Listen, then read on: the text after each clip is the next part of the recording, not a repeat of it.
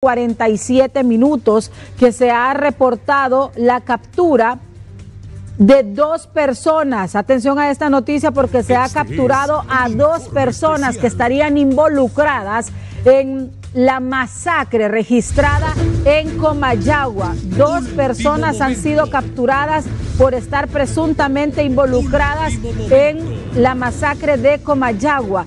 Ya tendremos mayores detalles al respecto, pero ya trasciende la imagen de las dos personas que han sido detenidas aquí en, en un operativo que han realizado en Comayagua.